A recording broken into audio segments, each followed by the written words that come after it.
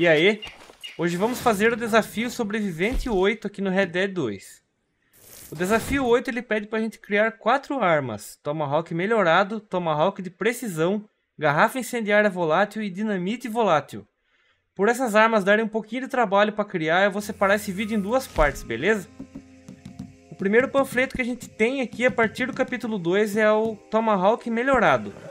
Tomahawk melhorado a gente precisa de uma pena de águia ou gavião e um Tomahawk. Tomahawk você pode comprar em qualquer vendedor clandestino. E vamos atrás agora da receita do Tomahawk de precisão. Nessa localização aqui, Moonstone Pond, se você vasculhar a cabana aqui, você vai encontrar o panfleto do Tomahawk de precisão. Ele não está aqui na gaveta porque eu já tenho ele no meu inventário. Se você não tivesse, pode vir aqui que ele vai estar tá aqui.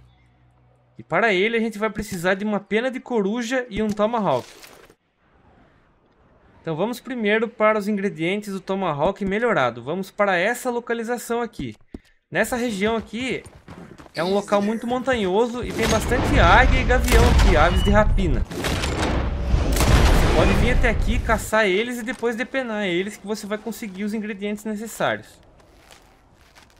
A coruja é um pouquinho mais trabalhoso. A coruja você pode encontrar ela no Emerald Ranch e a outra localização é aqui nessa curva que o rio faz no Big Valley. À noite é mais fácil de achar ela. Pode ser que ela dê um pouquinho de dor de cabeça para você, mas você vai encontrar. Ó, ela tá em cima da casa lá, ó. Lembre-se de procurar ela à noite que é mais fácil. Então a gente vai abater e vai depenar ela.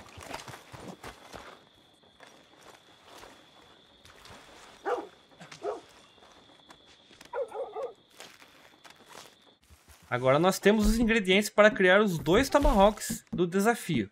Então vamos criar eles aqui.